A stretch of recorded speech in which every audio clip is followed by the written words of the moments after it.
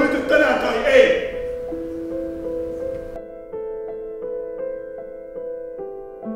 Katsokaa. Aika on pysähtynyt.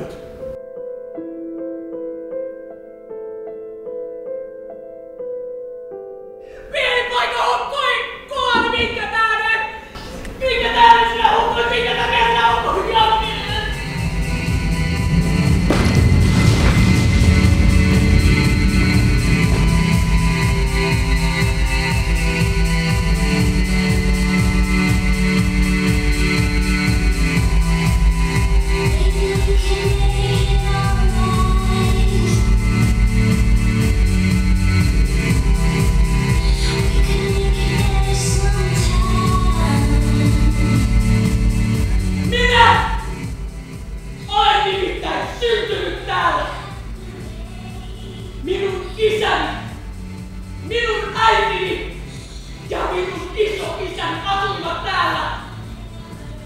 Minä rakastan tätä kirsikkapuistoa.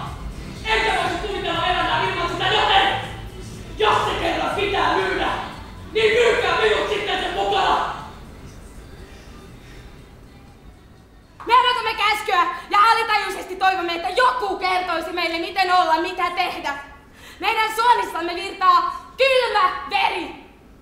Jää kylmä. Ja jokaisessa harjoituksessa meitä pitää lyödä käsillä, hakata näitä suonia, että saisimme veremme virtaamaan ja lämpiämään. Minun on pakko viilellä näitä käsiä, että sais veremme valumaan, että pelästyisin ja sepsäistyisin. Tuntisin, miten kuuma on tämä veri, joka minun suonissani virtaa.